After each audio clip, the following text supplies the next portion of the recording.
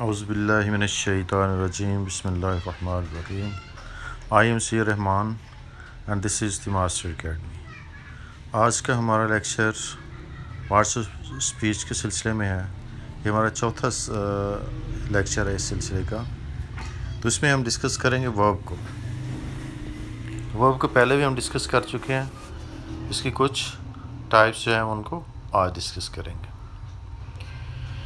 तो verb weak verbs और regular verbs कौन से वर्ब्स होते हैं? इनकी बात करते हैं। If verb required E D D T to form past and present participle with और without inside vowels change is called weak verb मतलब ये है कि अगर कोई वर्ड है वर्ब है बल्कि, जिसमें हम, जिसके एंड पे ई डी लगा दें।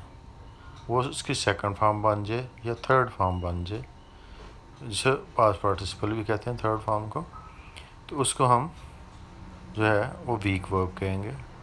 इसी तरह से अगर डी लगाने से सेकंड फॉर्म या थर्ड फॉर्म उसकी कंप्लीट थर्ड फॉर्म बन रही है उसकी, यानी पास और पास पार्टिसिपल जो है वो बन रहा है प्रेजेंट का तो उसको भी वीक वर्ब कहते हैं। इसी तरह से अगर टी लगाने से वो वर्ड जो है, यानी वर्ब जो है, वो उसकी सेकंड फॉर्म या पास उसकी फॉर्म जो है और पास पार्टिसिपल बनती है तो वो भी वीक वर्ब होगा।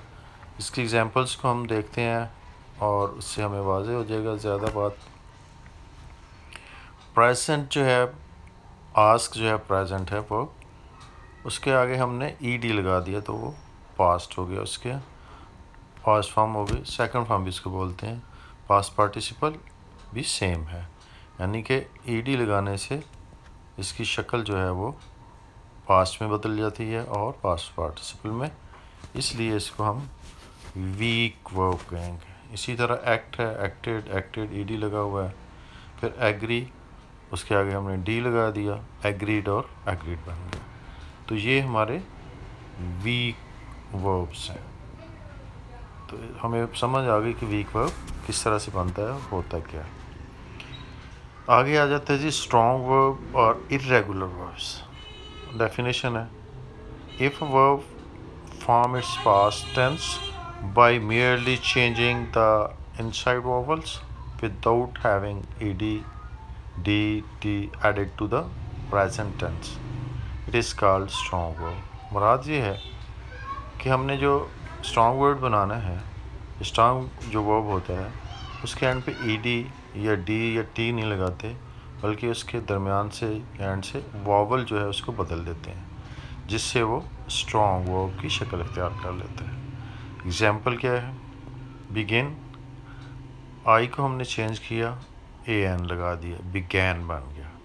तो ये बिगैन से बिगैन उसकी पास फॉर्म हो गई, और बिगन जो है, फिर हमने चेंज किया तो इसकी पास पार्टिसिपल फॉर्म हो गई। बाद के हमने इसके अंदर से वावल चेंज किए हैं, जिससे ये स्ट्रॉन्ग वर्ब या रेगुलर वर्ब बन गया इस तरह से हमने ब्रेक ब्रोक ब्रोकन और ड्रिंक ड्रैंक ड्रंक में भी यही मल किया। जिससे हमें पता चला कि यह ये जो है वर्ब ये स्ट्रॉन्ग वर्ब है। यानी ड्रिंक जो है ब्रेक जो है बिगिन जो है, ये स्ट्रॉन्ग वर्ब्स हैं। और मेथड मैंने आपको बता दिया, कौन सा होता है। आगे आ जाता है जी modal verbs they are those helping verbs which helps to express the mode और manners in which the action is done इसका अंदाज जो है जो है सेंटेंस उसका अंदाज बदल देता है मॉडल वर्ब ठीक है? उसका तरीक़ाकार जो है एक्शन इज़ डन जिस तरीके से उसका एक्शन किया जाता है, उसको वो, उस अंदाज को वो बदलता है। फिर पढ़ते हैं there are those helping verb ये हेल्पिंग वर्ब्स होते हैं actually which help to express the mode और मैनर्स एक्सप्रेस करते हैं, ठीक है? बताते हैं किसको? द मोड और मैनर्स किस अंदाज से जो है वो एक्शन हुआ है सेंटेंस के अंदर। They also modify the meaning of the main verb main verb जो होता है, उसके मीनिंग को चेंज भी कर देते हैं। तो मॉडल वर्ब होते कौन से हैं? They are can could may might will would shall should must ought to and need ये हमारे मॉडल वर्ब्स हैं।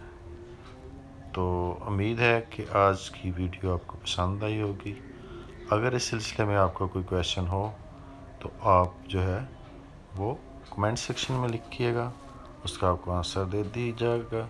अल्लाह हाफिज़।